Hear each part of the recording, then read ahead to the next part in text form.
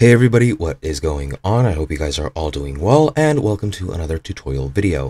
In this video, I'll be going over some errors you might encounter when trying to use Klarna and how to fix Klarna not working. So let's get right into it. And as you can see, I'm using a customer service article on Klarna since I do not have access to the application. So this is the only way that I can show this to you guys.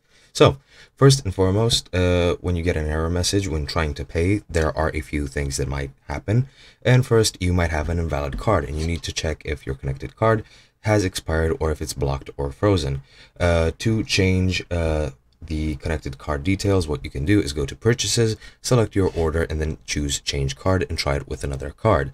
If that doesn't work, then it means it's a glitch with Klarna itself, so then you need to wait for them to fix it.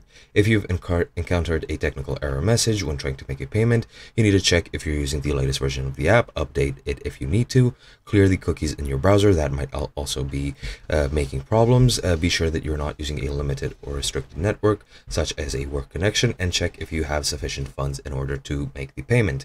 Now, other things are, of course, if your purchasing power is zero dollars or close to zero or not sufficient for it, then you will encounter these um, errors what can also happen is you have outstanding payments that you still need to pay. That's why your card might be blocked so make sure it is not.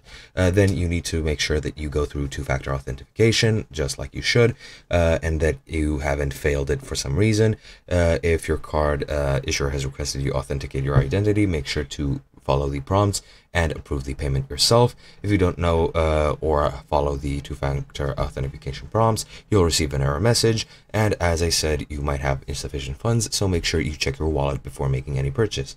And that's some of the most common things that you can. Uh, for other questions and for other problems, make sure to check out other Klarna guides. And that is pretty much it. Hope you guys enjoyed, and I'll be seeing you guys next time.